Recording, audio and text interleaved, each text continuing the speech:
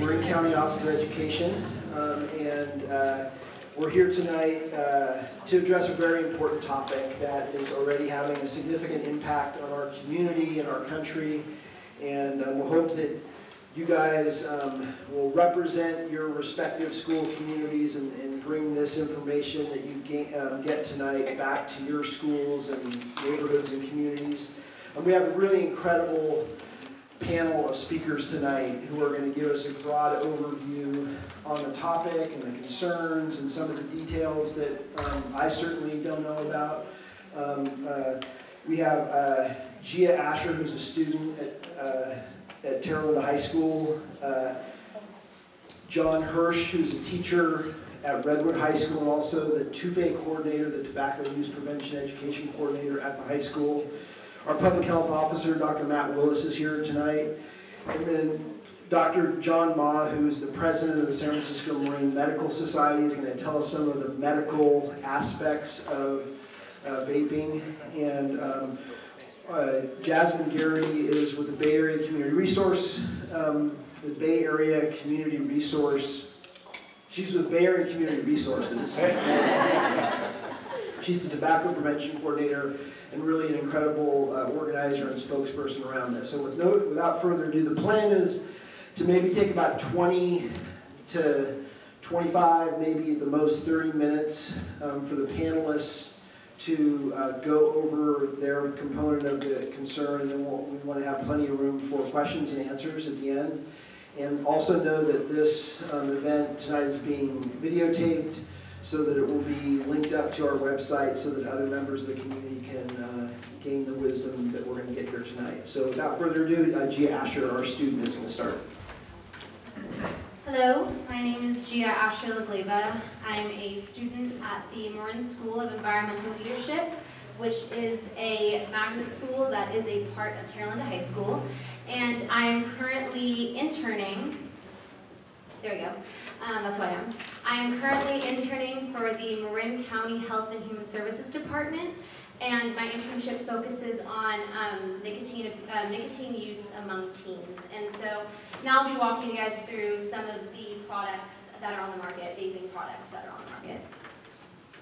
So first, I'm going to be going over the I'm going to be going over the um, different types of nicotine vaporizers that are being used today. And so starting in the upper left-hand corner, we have the e-hookah, um, which is preloaded and disposable. Right next to that, uh, that box-looking one, that is called Mod. It is battery-powered and is known to be a more powerful um, nicotine vaporizer. Um, right next to that, we have the e-pipe, which contains the same uh, e-liquid concentrations as other popular um, nicotine vaporizers. And then on that bottom left-hand corner, we have arguably the most popular nicotine vaporizer among teens today, which is Juul. Um, Juul actually owns 63% of the market share. Um, and then on that bottom right-hand corner, we have Suorin and Phix. Suorin being the multicolored round products there, and Phix being the more Juul-looking one. These two are also very popular among teenagers. Now, not only are there nicotine vaporizers, but there are also cannabis, vaporizers.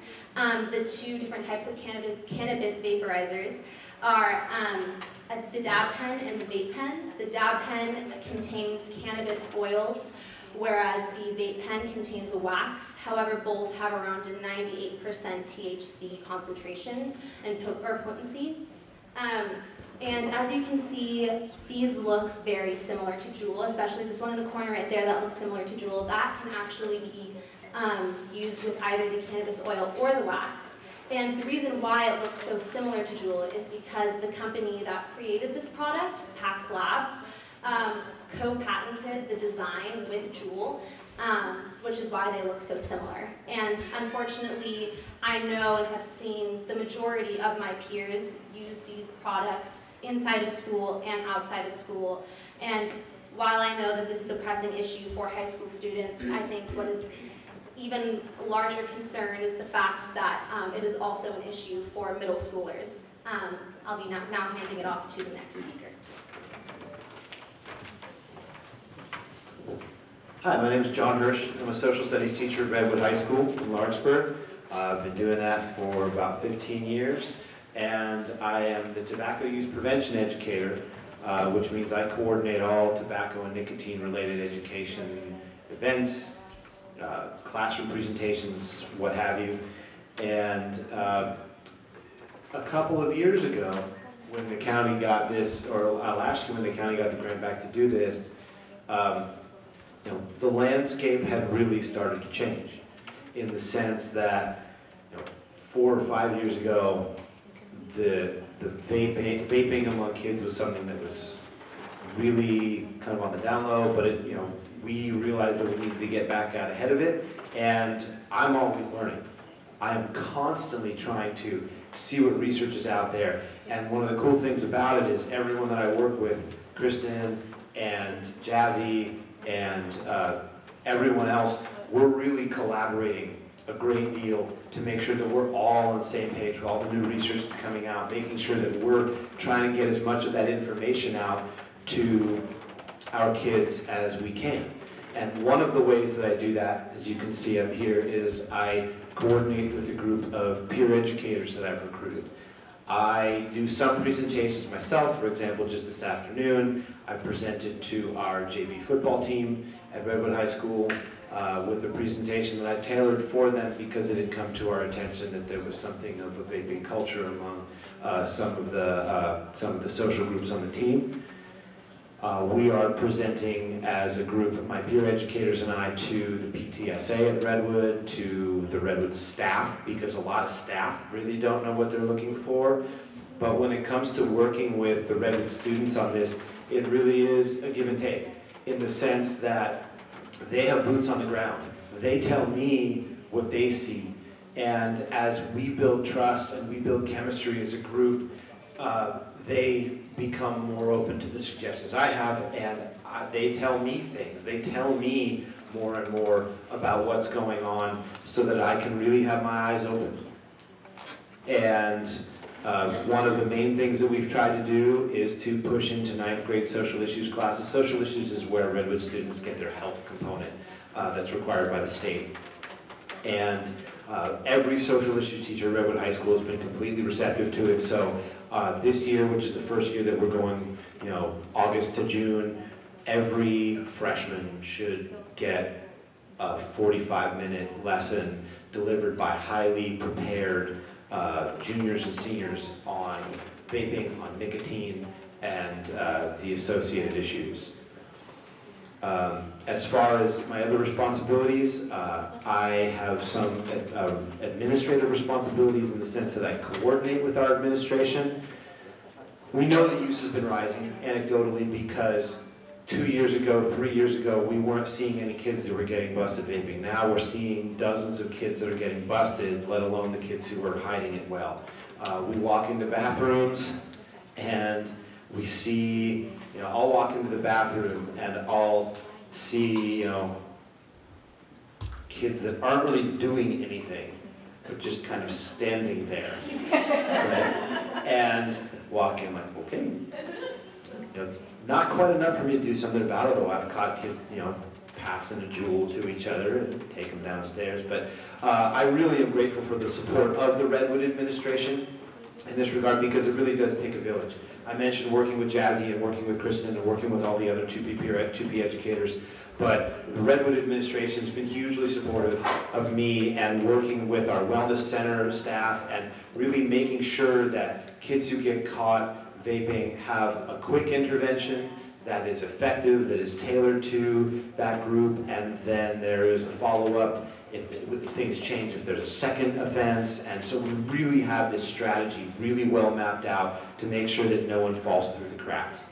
And it's just getting better and better. So I'm really grateful for the support that I have. Um, that's, I think, all I have.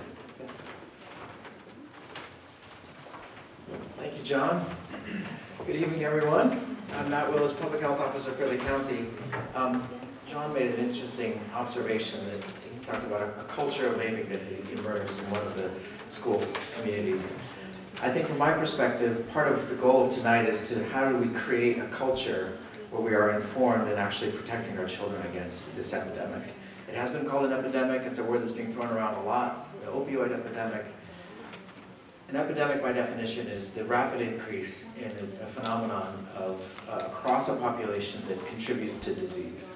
And by that definition, this is actually an epidemic because vaping does contribute to illness. Um, So I want to thank you all for, for coming to, to join us in this, in this endeavor of trying to protect our community. Um, I want to walk you through a little bit of my process as a health officer and trying to learn about this. So there's a, there's a Juul pod going around, is it still making its way around? Okay, so how many of you have ever actually held one before? So the majority of us have not. Um, and there's an analogous, you know, in my own world as a health officer, as I try to educate myself about this issue. This has accelerated so quickly that our understanding of this from a public health standpoint and from a regulatory standpoint has actually lagged behind. Um, and this was just a, you know, I was learning about this and I was told that people are using cannabis in Juuls and in other, in other vaping products. So I wanted to educate myself about this, so I Googled butter because I was, I understood that wax was one of the products that people are using. And this is what I learned, that butter is a form of THC or cannabis that is a waxy product. Um, again, these are, these are words, these are not, you don't learn these terms in medical school. These are slang, slang vocabulary. But I also thought it was amusing that under there, the people also ask, what is the difference between wax and shatter? What is terp sauce? How do you dab shatter? What is terp jelly? Like, none of those words. the, the, you know, the noun and the verb. How do you dab shatter? So that's kind of gives you a sense of where we are now. And the social networks that our children travel around, things happen so quickly, and we as adults are trying to just catch up. So I think that's part of the sort of the larger trajectory of this for us. The reason we're here tonight is partly because of the results of a survey that was um, finalized a month ago, early, early October. Um, um, we got the results of the California Healthy Kids Survey and found that um, we had seen a doubling in the number of Marin County youth who were vaping on a regular basis. So 2016, this was a, even then recognized as an issue for us, and we were working in, um, in our schools to try and educate and try and prevent people from vaping. Despite those efforts, we actually saw more than doubling in the number of high school juniors who were reporting to vape at, at, on a regular basis. There's 28% of our high school juniors, that second, the second paired column there, from 11% in 2016 to 28% in 2018. And then um, an increase also from 3% to 13% who said that they do it regularly in the school setting. We also saw corresponding increases in ninth graders and in seventh graders. Lower total numbers, but also more than doubling in those. So that became sort of the call to action that we needed to, to gather together to address this issue. Why do we care um, that children are vaping more frequently? Obviously, it's because we're concerned about the harm that it represents. Um, you'll hear from the marketers in the, in the industry that vaping can be a, a, better than cigarette smoking. It's actually a way for adults to stop smoking is what they will endorse. The evidence for that is mixed in adults.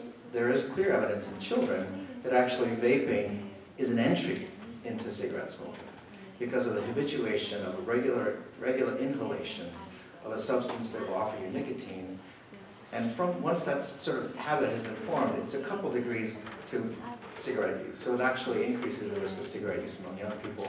There are toxic contents in vaping products, even those that don't contain nicotine, carcinogens, and other unknown compounds. Part of the problem here is that it's been so unregulated that we don't actually know what are in some of these products. The nicotine effects themselves, which Dr. Ma will get into, it is one of the most highly addictive substances. As a primary care physician, I had many patients who were suffering from addiction. Might be cocaine, heroin, alcohol, and smoking. And my patients who were smoking sometimes reported that that was the most difficult thing for them to actually stop. They may, you know, stop using heroin, but they could not stop using nicotine. So it is a highly addictive substance. Then there's the whole problem of secondhand vaping, if the same issue we have with, with cigarette smoking.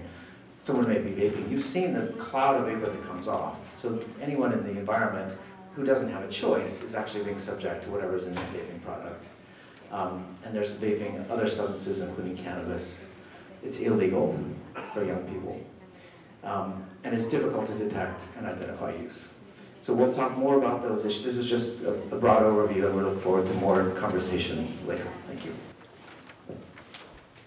Thanks, Matt. Uh, I'd like to thank the organizers for the opportunity to share my thoughts tonight. My name is John Ma. I'm the president of the San Francisco Marin Medical Society.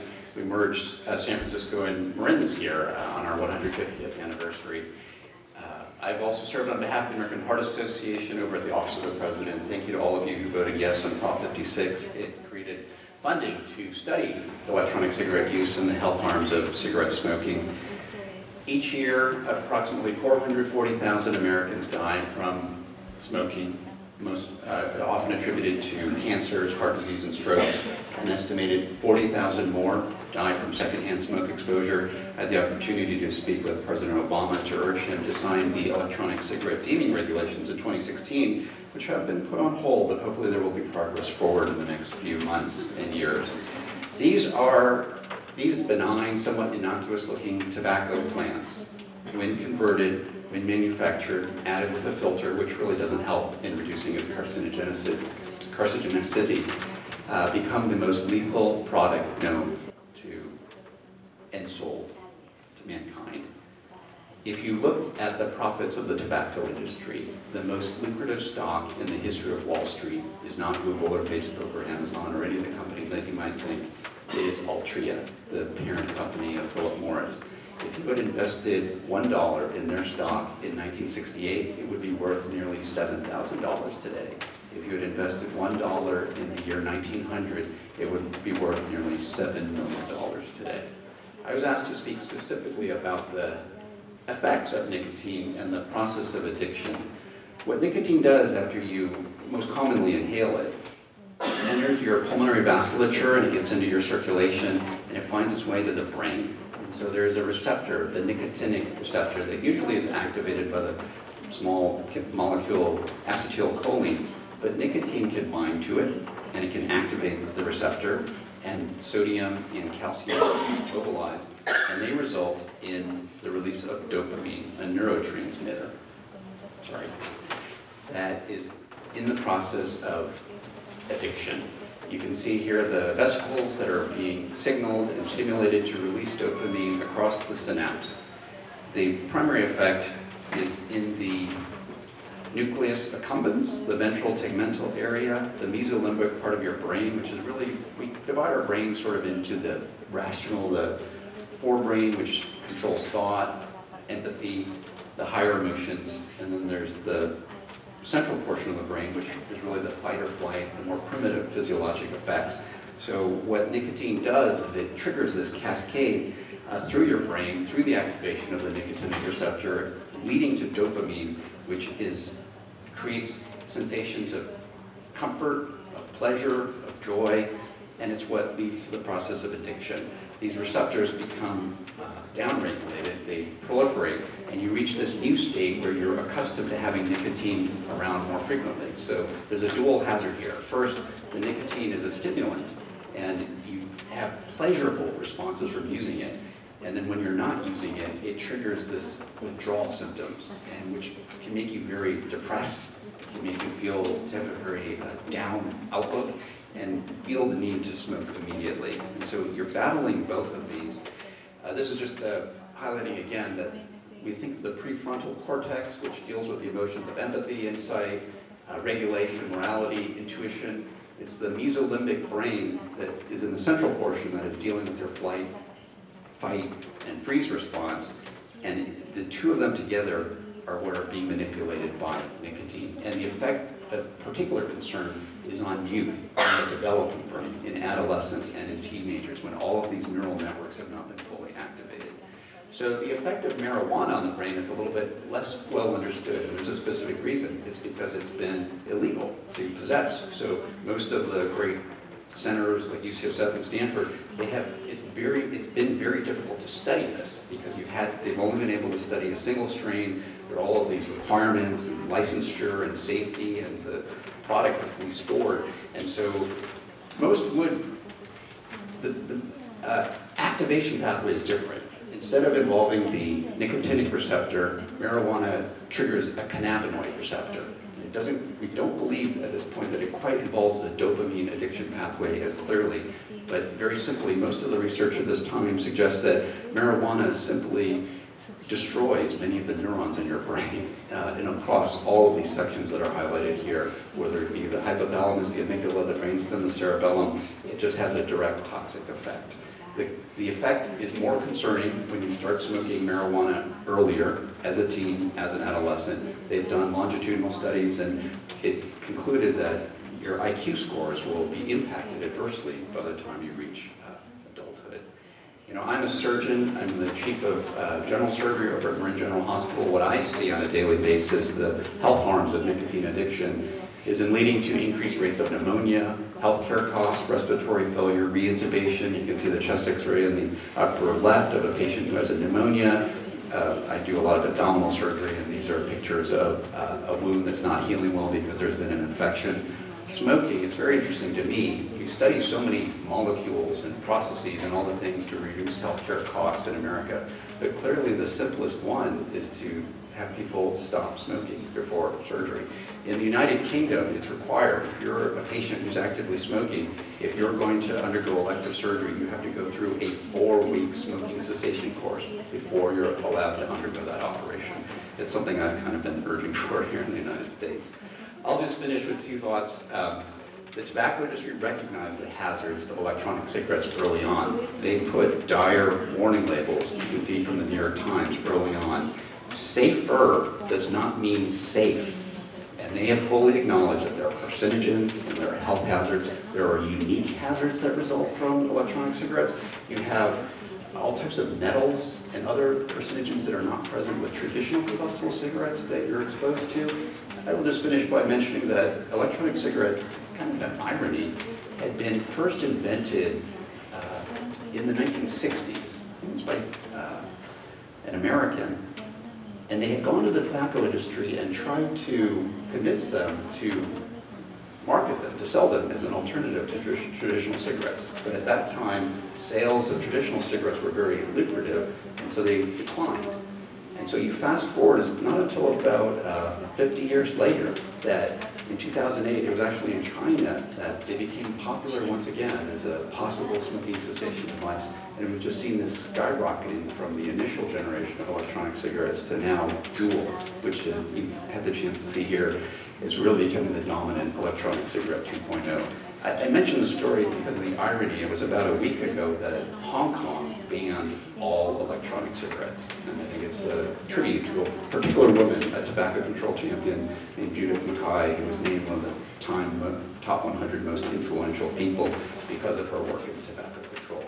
If you'll indulge me, just one last story I wanted to share. Uh, I learned that there is a video online uh, that teaches children how to trick their parents into not opening the electronic cigarette packages when they arrive.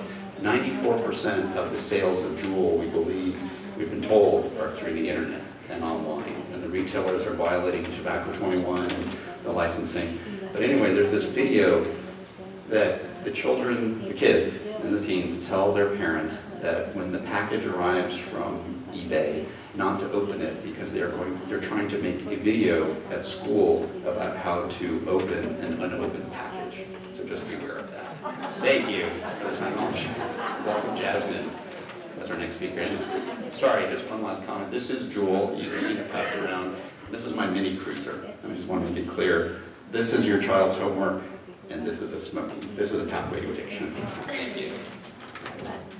Hi everyone, um, my name is Jasmine Garrity, and I work for Bay Area Community Resources and with the Coalition Connection, focusing on youth tobacco prevention.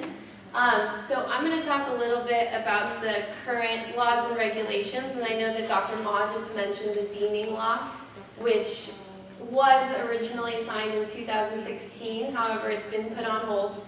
And um, basically, even with the deeming law, um, it talked about how many e-cigarette companies they got they would have been grandfathered into this law. So anything that was made prior to 2016, which does include Juul and Vuse and Logic, I put a couple up there, they would have gotten grandfathered into that law, which means that they would have until 2022 to um, file for an exemption before they would start to get regulated. So unfortunately, none of those products are being regulated at this time by the FDA. And then again, reiterating, the cannabis products are not federally regulated because they are not legal yet at that federal level. So those are um, in the works. And currently in California, all of the med medical marijuana and the adult use recreational cannabis falls under the Medicinal and Adult Use Cannabis Regulation and Safety Act which is evolving because the state doesn't really know what laws that they're going to put in place. So that's still constantly moving to this day. All right, so talking a little bit about signs about if your teenager might be vaping. So these are just a couple of the signs. However, there's plenty more that are not on this list. Um, some of them include fruity aroma or the marijuana smell. So e-cigarettes don't smell like combusting tobacco. They smell like mint and candy, and actually there's over 15,500 flavors on the market for e-cigarette products. Um, for marijuana vaporizers, you can smell the marijuana smell, but there are also flavored substances mixed in there, and so we can smell a combination of marijuana scent as well as other flavors. Um, another sign is unfamiliar handheld gadgets. So Many e-cigarettes, as you saw in the first two slides, they come in all different shapes and sizes, and so they can look like school-related items. So it's important to ask if something doesn't look familiar to you and just say, what is this? Is this a highlighter or it could be an e-cigarette device? You don't know. Um, batteries and chargers are also a really good way to tell if there's um, something going on. Vapes need to be charged on a regular basis, and so if there's unfamiliar batteries and chargers, that's something that you can ask about as well.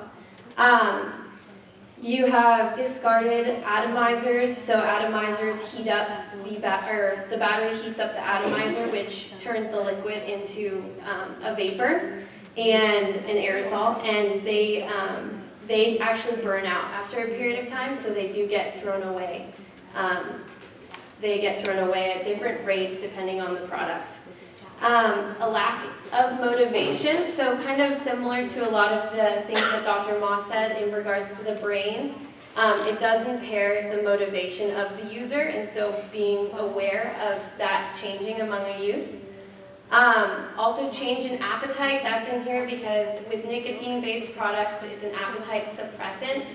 And with marijuana products, there will actually be an increase in appetite, so that's something to look for as well.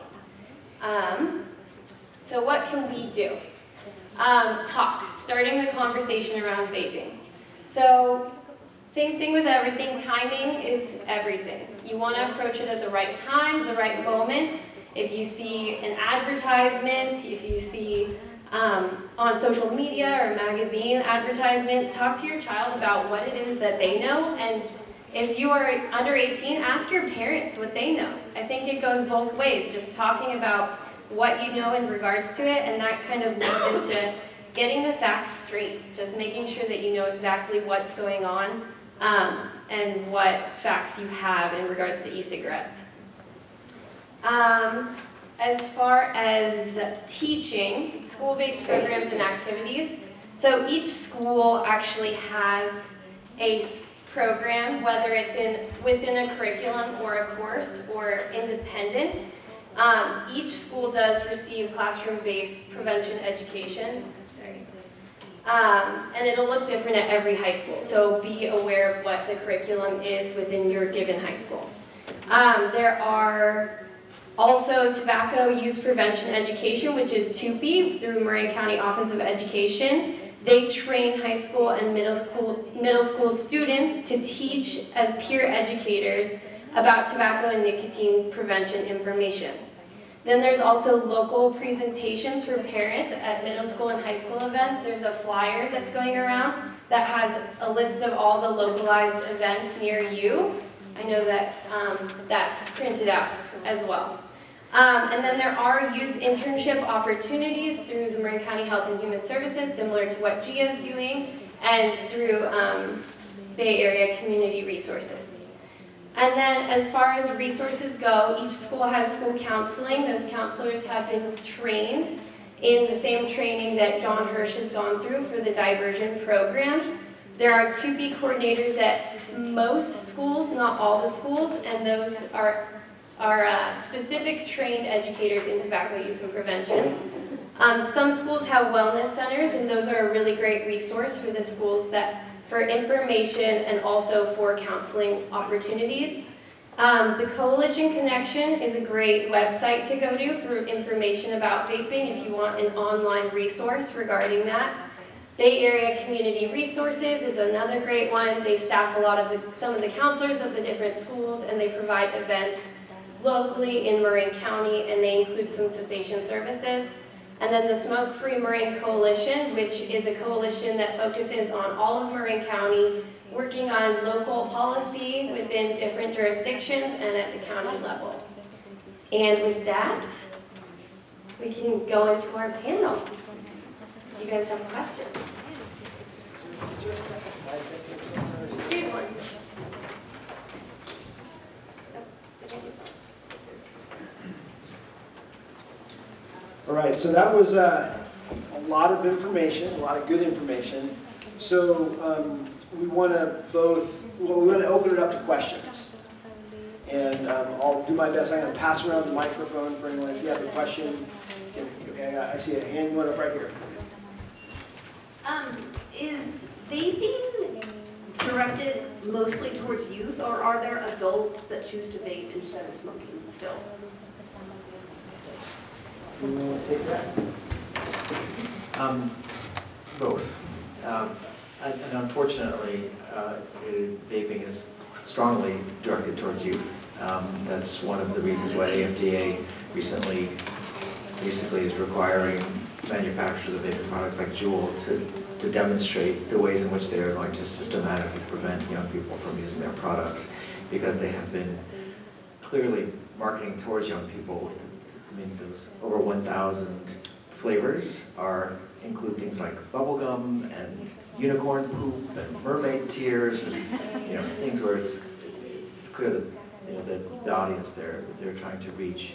And unfortunately, it's, the, the data is showing us how incredibly successful that has been um, with, um, with a dou- a doubling, you know, almost half of our kids have, have vaped at least once in Marin County, about forty-eight percent, and, and our eleventh graders, one in three are using it on a regular basis.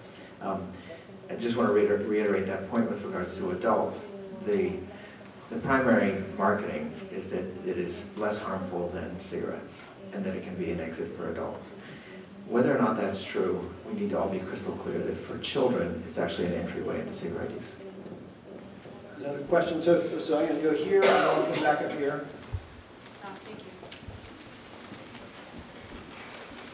I have a question about school policy. What, what is the policy, what, can you hear me now? What is the school policy in middle schools right now for when a child gets caught with a, a Juul on campus? Middle school specifically, uh, and, and high schools, uh, it's going to vary from district to district.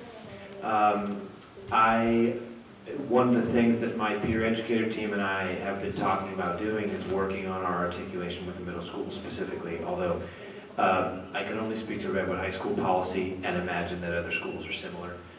With uh, the Tamalpais Union High School District, that's Tam Drake, Redwood, Tamiscal, San Andreas, uh, nicotine-based products are an outlier in terms of students caught abusing any substance. If there's anything other than nicotine, the, the first, uh, it's, it's a suspension. But with nicotine products, it's an intervention. So they will, like, if a kid is caught vaping, juuling, the first thing that they do is they, they talk to the assistant principal involved, and then that assistant principal refers them to me. And at Redwood High School, the policy is that they have two separate meetings with me. And uh, there's a follow-up at the end of the year. But then if it's a second offense, then ref- we refer them to our wellness center for more emotionally based counseling. Are parents called as soon as kids are found, or is it case by case basis? Uh, I, I believe so, yes. Yeah, I will, I will double check on that to make sure, but I believe so. Question right here. and I just, one more piece of context for the middle school setting. Um, So the, um, the California Healthy Kids Survey surveys seventh graders, ninth graders, and eleventh graders. The data we showed here was for eleventh graders, and obviously the, the rate is highest in that group. But for seventh graders, it increased from three percent to seven percent of seventh graders who were using vaping products on a regular basis. So it begins even, you know, in the middle school setting. Right here. How much do vaping materials cost, and what's the main source where kids are getting hold of vaping materials?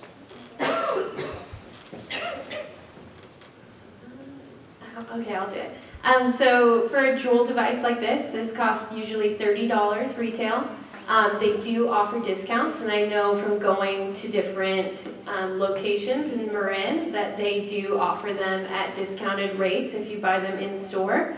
Um, as far as obtaining them, I know that, like Dr. Ma said, a lot of youth get them online, but you can also get them in retail outlets, and there's definitely some youth who are using fake IDs and going in and buying them, or they don't get carded. So that's some ways of obtaining them. I don't know if you have anything to add. Uh, These are the Juul pods. Four of these cost at 7-Eleven about $16, under $4 each. These are little flavored cigars. There are a lot of other types of products that, you know, there are a lot of issues. Those are actually cheaper. The Juul device, you purchase it one time and then you keep reusing it. Just incidentally, the Juul, the little pod has as much nicotine as an entire pack of cigarettes. It's very potent. I just, can I add one thing to that, Mike? Um, we, we had recently at a meeting just this week heard from a parent who had firsthand experience with their children, group of kids, buying um, Amazon gift cards and using that to order it and have it shipped to an Amazon locker at Whole Foods or Safeway. So, so there's a lot of that going on. So we have a question here, and then here, and. I just wanted to sort of add that partly because so much of it is coming from the internet, that we have to assume that we're operating within an environment of choice. As much as we work on the policy side to limit access, ultimately, the sort of our awareness and our knowledge and recognizing that children are making choices and we're trying to help them make healthy choices in terms of the culture is ultimately how we're going to get in front of this. So I have other questions, but to add to the, that, it's sold, you have the Juul, and then you have the charger, and they come together, and then you can buy four flavors, all in one pack, and you get a discount. And you go to any, any gas station, and they usually have them. And I just, I just kept going to a whole bunch to find out where they were. Now, some gas stations have a fake cigarette front, it looks like there's cigarettes there, and then they flip it up. You have to ask for the Juuls. So at least they're doing that, you can't walk in and just see it. But most you can see them. And so the kids are doing that. But um, the other thing that's happened is a very sweet 14-year-old freshman girl, a very sweet freshman girl that my daughter knows, uh, just handed her backpack to my daughter last week and just said, can you hold this just a minute? And my daughter did. And then, then she gives it back and then she says, look what I had in it. I didn't want to get busted. The teachers were coming by looking at the backpack. She had 30 packs of these four packs and she was selling them at school. And so anyway, so that, they're, they're, se- they're buying them in bulk and then selling them. Okay, but that wasn't my question.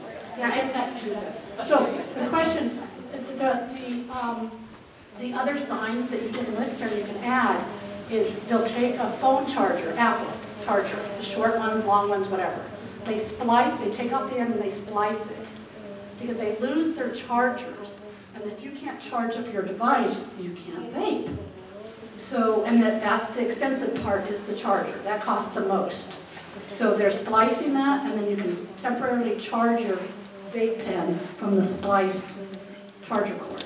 So that's how we start saying, what's going on? Every charger is ruined in our house. And it was always right after parties, and know, like holidays.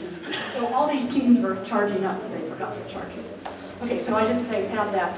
And then, um, that our problem is, so we know all these kids that are vaping, we don't know what to do next. So I've gone to pediatricians, and they're like, our pediatrician said, well, we could do a patch, we could do gum, but we don't know how much they're using. Uh, we could taper them off. Um, So there, there's not a lot of alternatives. And then I asked if my daughter could talk to an addiction specialist. Go to Huckleberry House and talk to a counselor, but no one's offered what we can do when we have a problem.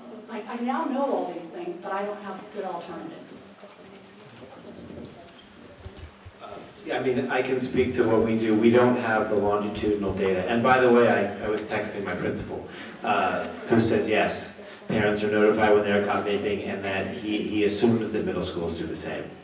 So, um, as I said before, when we, when, when a student is caught vaping, or when a student wants help, that student comes to me, and we do primarily a, uh, uh, an information-based first intervention because the pre-assessments that we're getting is that kids know very little about what's actually in them and the effects and what it does. And after that, they are offered, because we have, we're fortunate enough to have wellness centers where we have the ACR counselors like Chazzy was mentioning. Um, they can participate in counseling, individual counseling, group counseling, uh, with the goal of, of beating an addiction, for lack of a better term. So Redwood, Tam, and Drake high schools do offer those services. Uh, unless they're caught twice, though, those services are voluntary. Just to answer about what one can do in a public policy perspective. So electronic cigarettes, when they were first conceptualized, they did not have nicotine. They did not have flavorings. They were truly water vapor. They were only available in pharmacies with a physician's, a doctor's prescription. And so moving to that type of model is one possibility. Another is to look to San Francisco. The last piece of public health legislation signed by the late Mayor Ed Lee was to ban the sales of flavored tobacco products across all spectra. Uh, that was successfully upheld by the San Francisco voters and will be going into effect January of 2019. And it would end the sales of these types of products. So they'll come to Marin to get them? Or online, yes. But they won't be sold in the city. Question in the back. I have a related question. So let's say we find out that our child has been vaping tobacco. We know how highly addictive it is. Who do we have to turn to for help to help them wean off the, the, the nicotine? I mean, you exist for the kids who are at high school, but who do the parents turn to? Um, so for parents specifically, I, I think that one thing that we kind of all need to get on the same page with is learning more. So starting with going to these information sessions that are going to be held locally and more in-depth exactly what's happening. And then for as far as trying to reach out for a youth who's using, that's something that can be done within the school setting and actually talking to the counselors through the schools because there is that opportunity within the schools. I know that there's a couple programs that are doing cessation services outside of the schools. There's more specific toward adult cessation youth use, and so that could be an outlet is changing that over to be both adult and youth cessation, which is what it's looking more and more like. Um, that's more on the addiction side when it goes too far. But when it's just getting started, it's definitely at that point where that you can change that, the direction of that.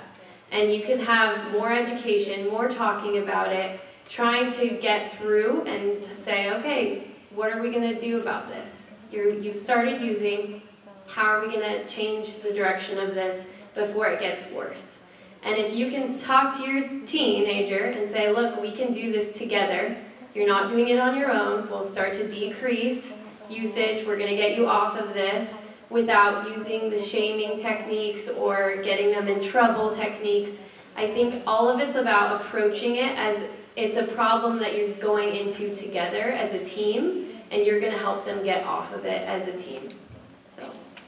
So. So there's a question right here, and I'm gonna try, I'm trying to remember all the hands that are going.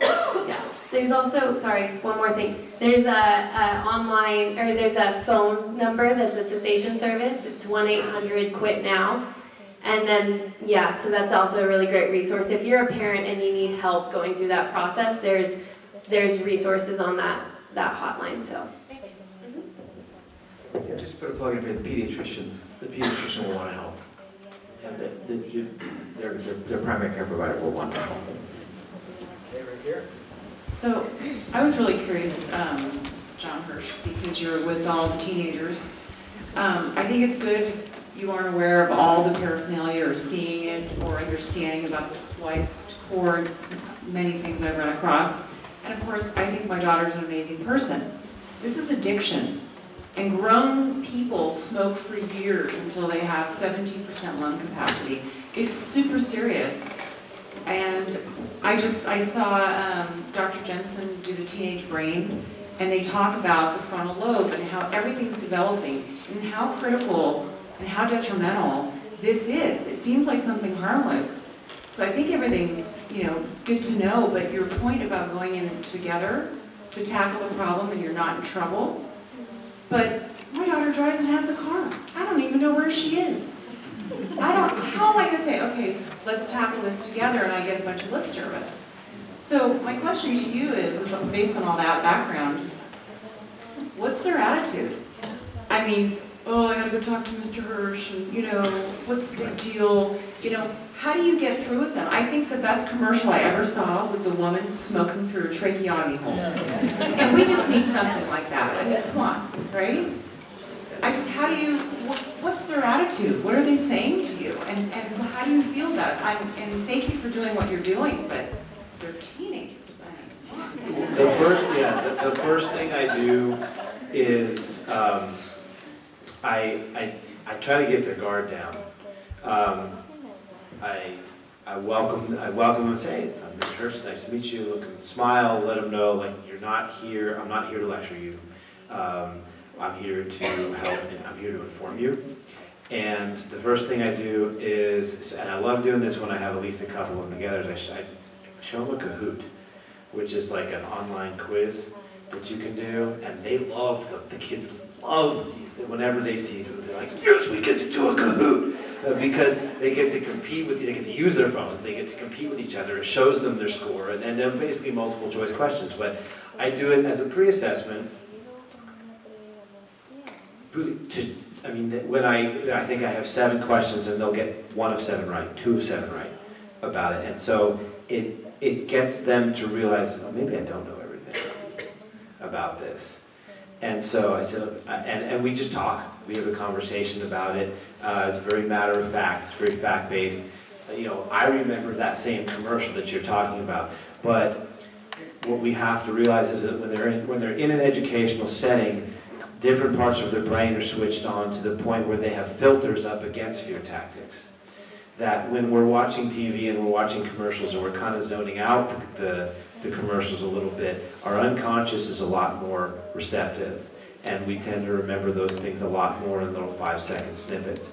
But when they're working with a teacher, especially a teacher who they're worried might be like wanting to do something to them, the, the, the frontal cortex and the amygdala are, are working in very different ways, and so fear tactics tend to be a lot less effective. So that's why I focus on a real fact-based approach. I think that's great. Yeah. Knowledge is, Yeah. And then after that, I, I, I say the next second meeting, you guys are carrying on a discussion about all the facts that you know. So Just got you guys. question over here, where, you know, I'm- I'm trying to get around, I know there's some hands that are still going up. Yeah, just um, as, as a teenager, I have obviously, I've never been in this position. I mean, if I'm, you know, doing an internship for tobacco use, I probably don't use tobacco. But I do know a number of my peers and friends who do use, and they've talked to me about it. And while, you know, they, I think they aren't as educated as they should be, and they don't see it as much of an issue as it really is, I think that after a certain point, there is a concern, and I have seen it among many, many people.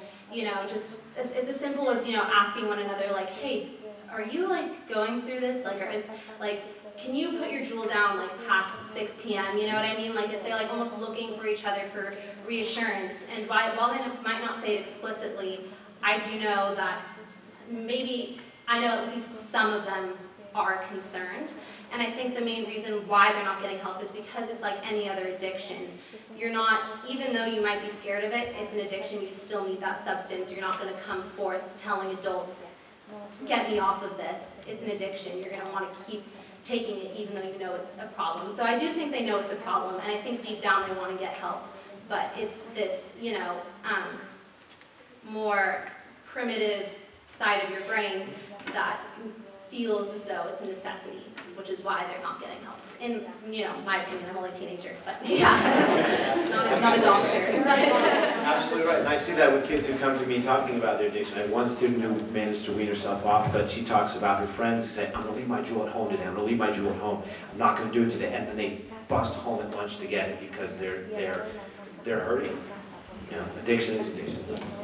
So, um, just switching gears slightly, you guys have talked about two categories here, you know, nicotine and- and marijuana, but the one I've come across um, is these, are these disposable vape things that are more around outcome, uh, energy, diet suppression, and sleep.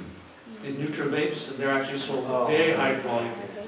And I'm curious if there's any medical data around health there, they don't have nicotine, but earlier to the point Dr. Willis you made, it's, it's a, it's a pathway potentially to something more, more important, but these are not regulated. What kids say is that, listen, I'm not smoking, I'm not having nicotine or marijuana, so it's fine. Uh, they're much easier to buy and disposable, very hard to, to to detect. So I'm curious if there's any, I mean, what's the health, you know, concern or problem with those? Because they're actually sold at much higher volume than the nicotine ones, so it's much easier to get. It's a great question. Uh, There are a whole world of emerging products, snus, uh, heat not burn, and they haven't been as well characterized. Uh, It's interesting that you're witnessing this, sounds like very rapid growth. You know, I'm a doctor, and I've worked in this field for about a decade, and I've thought to myself, and I've concluded that it's not a good idea to light anything on fire and put it anywhere, in your mouth or anywhere near it. It doesn't matter if it's a cigarette, marijuana, electronic cigarette, these types of uh, agents. You know, if they don't, if they should, these new products should be tested by the FDA and studied to look for, before they get market approval. Uh, It's very concerning to me because they have these benefits that are touted, but we're not really sure what the evidence surrounding them is. I can't, at this time, there's not insufficient data to be able to honestly answer your question, but it's deeply concerning to me. Thank you. I like to put a Jolly Rancher candy. I like to offer a Jolly Rancher. So would you like a Jolly Rancher? And they say, sure. And they take out a spoon, put the Jolly Rancher on a spoon, take a lighter, say, okay, suck it in. They're like, yeah, inhale it. They're like, what? And, and, and like, well, I mean, it's safe, right? I mean, we eat them all the time, but we, we eat them. We don't smoke it also. So, so inhaling something and ingesting it is different. Right.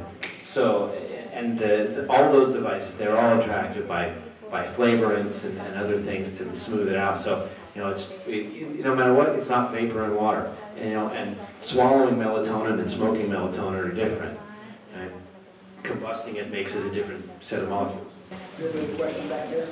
Yes, I do. I'm going to stand because I'm short.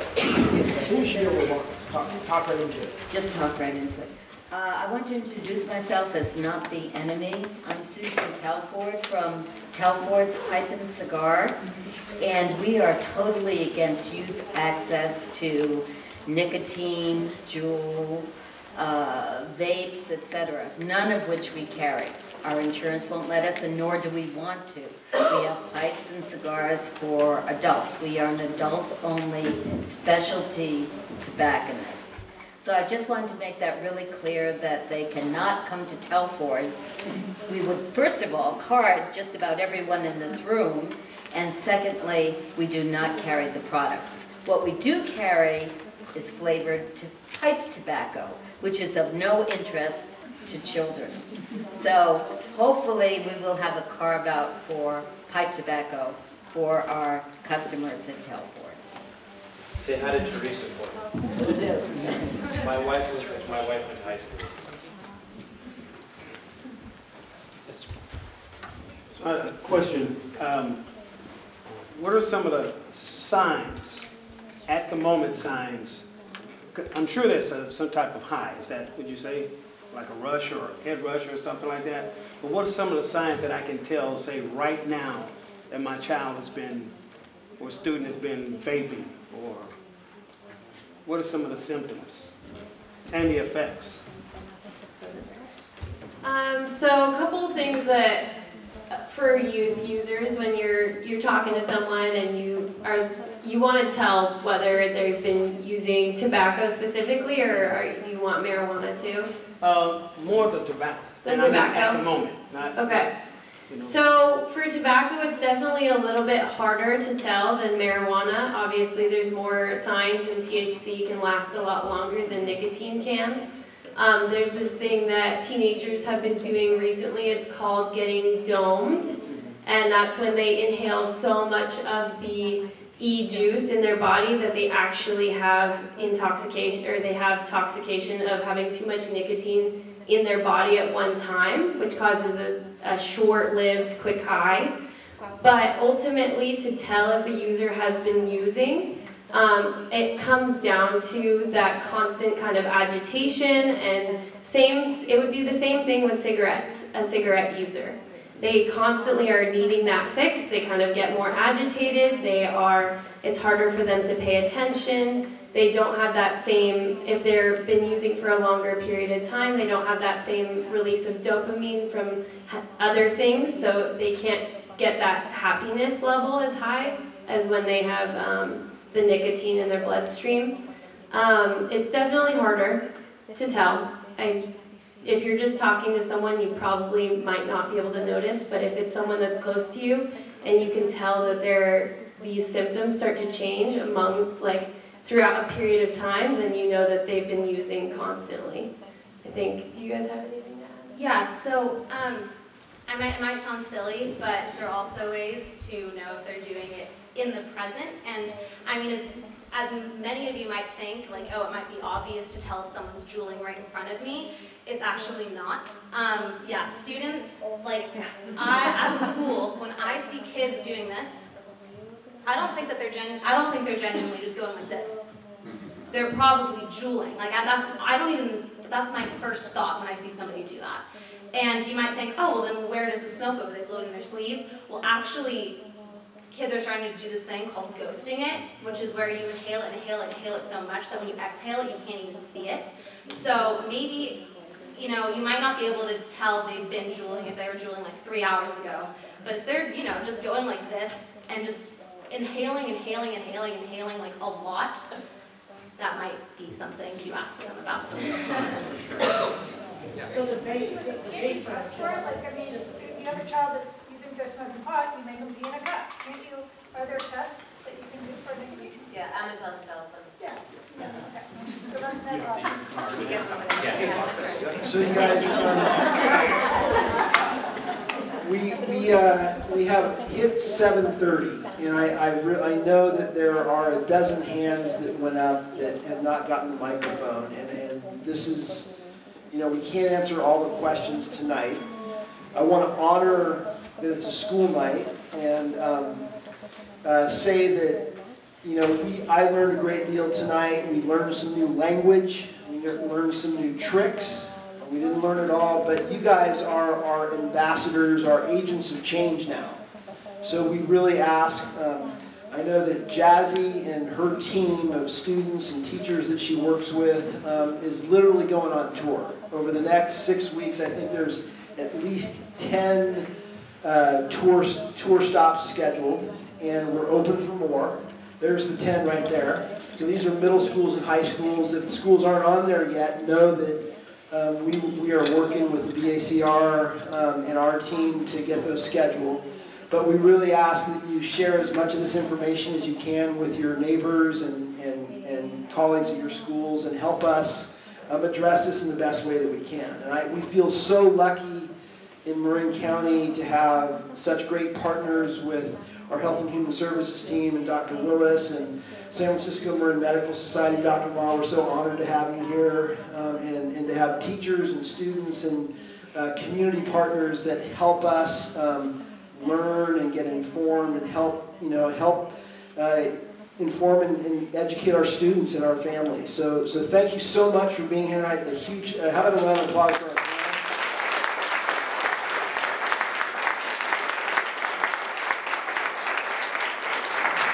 I'm sure that, you know, if you, if you have some one-on-one -on -one questions, our panelists, panelists might be around for a few more minutes here, but uh, thank you so much for being here tonight.